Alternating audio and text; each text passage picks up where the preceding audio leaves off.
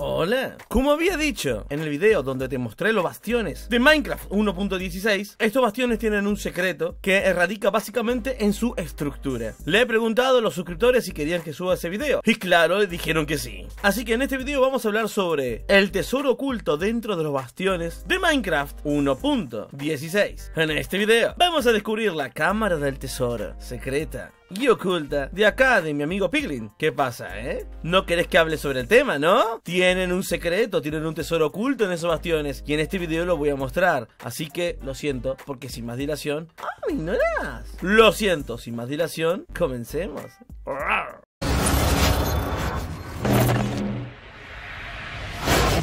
Bueno, aquí estamos en un bastión. Está muy oculto el bastión.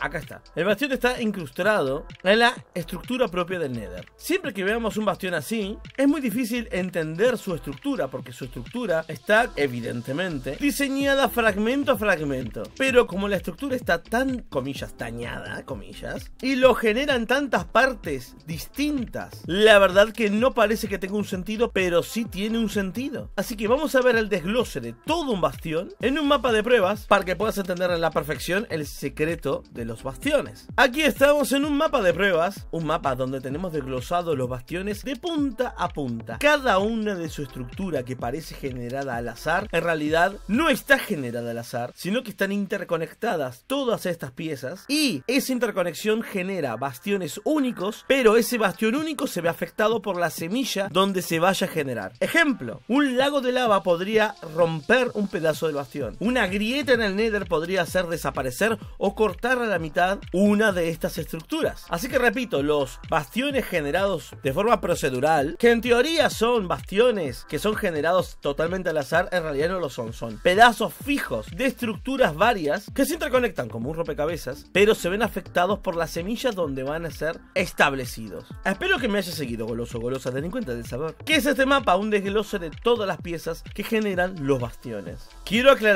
que este mapa no es mío, es del youtuber Slime Dream. No sé pronunciarlo. Slime Dream, algo así, o Dream, no lo sé. Te dejo el enlace de su canal debajo en la descripción para que lo puedas golosear y puedas descargar este mapa si lo deseas. Y como te decía, aquí tenemos todo desglosado punto a punta. Y claro, un bastión se genera con cuatro estructuras. Claro, estas cuatro estructuras tienen un montón de variantes, pero son solo cuatro y te las quiero mostrar. Una es esta, los puentes, ¿verdad? Aquí están los puentes. Los puentes, los establos, las salas del tesoro, que esto es de lo que vamos a hablar en este video, y las unidades de vivienda. Por ejemplo, si venimos a unidades de vivienda, podemos ver esta estructura que habíamos visto en el video anterior. En el primer video de los bastiones. Si no viste el video de los bastiones donde te presento la estructura de un bastión, te lo voy a dejar en la descripción para que también lo puedas ver. Y bueno, mira, mira este ejemplo muy práctico. Aquí tenemos, goloso, esta estructura con Netherward, que habíamos hecho la aclaración que ya no es necesario una fortaleza para conseguirla. Pero como se genera así, se puede generar así. Entonces, tú dices, claro, vengo y en este bastión hay menos Netherward que en el anterior. ¿Qué generación al azar? Y en realidad no. Son diferentes piezas de rompecabezas que se interconectan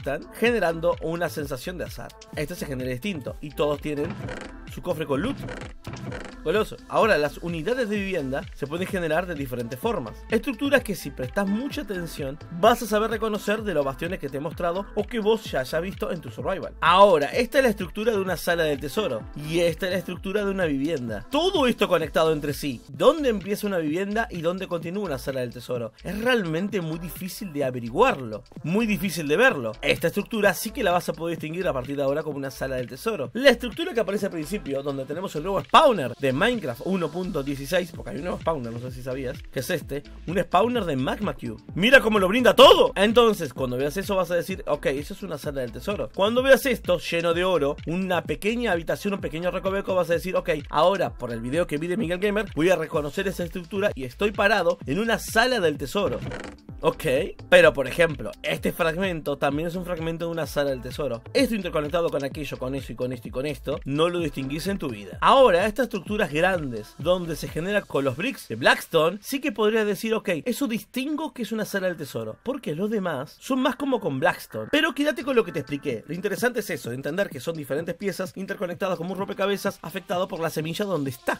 Y tampoco los bloques de oro son gran referencia, porque tú dices, bueno, acá estoy claramente en una sala del tesoro. Si me encuentro con esta bestialidad y esta cantidad de oro, estoy en una sala del tesoro, no me joda Miguel, lo distingo yo, mi prima y mi abuela en bicicleta. Pero claro, acá estamos en una estructura que no es sala del tesoro y también se genera con muchos bloques de oro. Pero no sé si prestaste atención a lo siguiente, que es que hace un tiempo en el video estoy tratando de que vos puedas identificar a la vista salas del tesoro en un bastión. Y la pregunta es, ¿por qué? ¿Para qué querés que yo identifique salas del tesoro en los bastiones? ¿Qué me trae eso de interesante? ¿Por qué deberías darle like a este video, suscribirme y acompañarte en los directos de todas las noches? ¿Por qué? Te calla el spam, ¿eh? Rico, rico spam. Bueno, sencillo, porque cuando entiendes que se generan cuatro tipos de estructuras diferentes en los bastiones, entiendes que los cofres con loot cambian según la estructura. Ejemplo, en la estructura establo es en la que menos cofres puede aparecer. Pero aquí hay un secreto mayor y en esto radica todo el video, que es que la estructura puente, la estructura establo y la estructura unidad de vivienda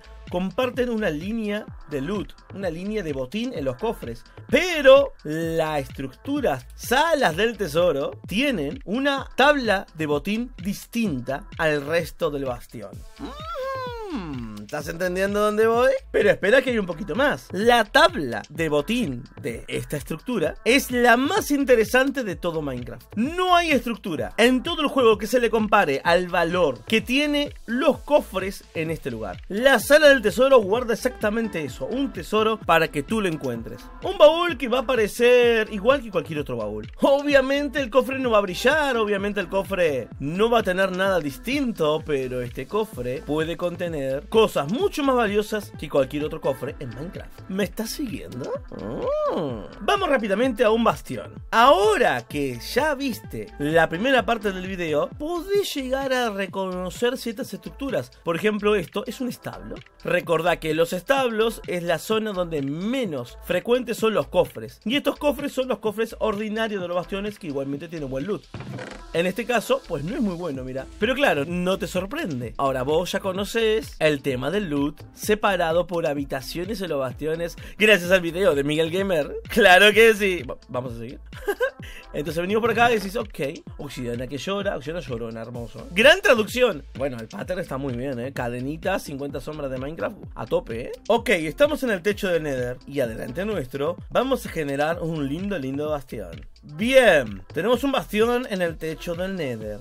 Espera, espera, espera, que vamos a generar otro. ¿Qué tanto? Si los bastiones son gratis para nosotros. A ver, ¿lo generamos aquí? Ok, ya estaría. Tenemos dos bastiones en el techo del Nether. Bueno, esto nos va a venir muy bien para analizarlos. Ahora que entendemos más o menos cómo pueden ser las estructuras de un bastión, podemos ver que esta es una unidad de vivienda. ¿Te acordás que vimos exactamente esta estructura? En el otro bastión vamos a buscar la misma unidad de vivienda y mirá, se generó de otra forma. Interesante. Creo que he generado una cantidad muy bestia de bastiones en el juego. Todo esto para mostrarte las diferentes posibilidades de armado de estructuras buscando salas del tesoro, dado que las salas del tesoro tienen los cofres más valiosos de todos los bastiones. Por ejemplo, si nos vamos al mapa de prueba, podemos ver de forma clara qué cofre se genera en cada lugar. Por ejemplo, en la estructura puente, vamos a buscar cofres.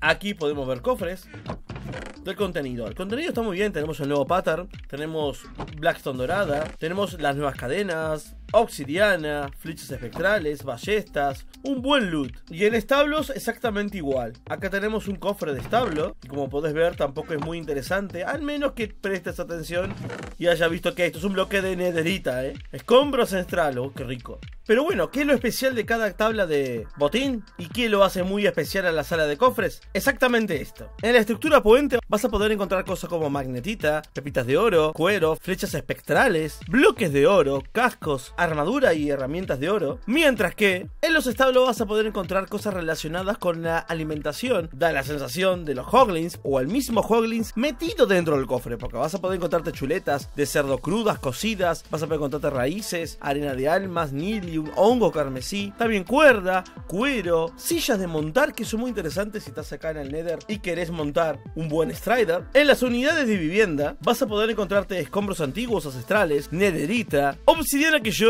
libros encantados, el nuevo pattern, el nuevo disco, bloques de hueso, etc. Pero aquí, en la sala del tesoro, el botín es completamente distinto, porque te vas a poder encontrar. Y escúchame muy bien. Bueno, te hablo así. ¿Estás listo? Diamantes, escombros antiguos, obsidiana, blackstone dorada, bloques de oro, lingotes de oro y de hierro. Pero además, armaduras completas de netherite encantadas, espada de netherite encantada al azar, lingotes ya hechos de netherita, que te quedas loquísimo. Algo interesante que me llamó mucho la atención es que estas piezas y las piezas también de otros cofres aquí en el Nether las podés llegar a encontrar dañadas. Curioso, ¿verdad? Mm, Y veamos esto en ejemplos, porque una cosa es decirlo y otra cosa es que pase. Si venimos a este cofre de sala del tesoro, podemos encontrar, mira, fragmento de nederita. Interesante. Aquí, fragmento de nederita. Dos fragmentos de nederita, dos de dos, ¿eh? Aquí, mira, un pantalón de nederita ya completo. Aquí, botas de nederita. Y mira lo interesante, podemos ir reseteando la estructura. Mira, diamante, escombro de nederita, Espada de nederita encantada con mending. Jodeme. Acá, mira, ¿ves lo que te decía? Míralo bien, fíjate que está desgastado, ¿eh? Ojo con eso. Reseteamos. Lingote de nederita listo para usar. Esto es hermoso. ¡Buah! Está rotísimo. Bueno. Ok. Bueno, interesante. ¡Buah! Protección 3, pantalón de nederita, que roto, ¿eh? Como podés ver, todos los bastiones tienen sala del tesoro. Una sala del tesoro que ahora entendés que existe. Podés reconocer algunas si la vieras y entendés que el cofre tiene un loot especial, el loot más valioso de todo el juego. Cofre con un botín distinto, diferente, que lo hacen a los bastiones las mejores estructuras en lo referente a lo que te podés encontrar en los cofres. Además de ítems exclusivos como el pattern de Piglin o el nuevo disco musical. Esto ha sido todo sobre el secreto de los bastiones de los Piglins, el tesoro escondido, oculto que tienen los bastiones en su interior. ¿Serás capaz de encontrarlo? Si es así, te invito a que me dejes una foto en Twitter, así yo le hago un buen retweet cuando encuentres una sala del tesoro y encuentres y me muestres qué tesoro encontraste en la misma. Te dejo mi Twitter en la descripción de este video. Y si quieres más sobre Minecraft 1.16, no te olvides de reventar el botón de likes. Además, te espero en el directo de esta noche. Estamos todas las noches en directo, no importa cuando veas este video, siempre. A la noche estoy en directo en este canal. Pasate goloso, golosa, que te voy a saludar personalmente. ¿Ok? Palabra de caballero, goloso. Y si es primera vez que ves uno de mis videos, te invito a que te suscribas y que cuando lo hagas, lo hagas con campana. Porque si lo haces sin campana, YouTube no te avisa cuando subo video. No tiene ningún tipo de gracia, ni de lógica, ni de sentido. Suscribirse a un canal de Minecraft, a un canal de YouTube cualquiera, para que nadie te avise ni cuando haya un directo ni cuando haya un video. No tiene sentido. Sé una persona inteligente y de bien. Una persona sensata. Y suscríbete ahora a este canal y utiliza la campana. Yo, sin más, me despido. Espero que este video te haya gustado y nos vemos en la siguiente review. O en el siguiente gameplay. Abrazo, Miguelero y... Chau, chau, delincuentes del sabor.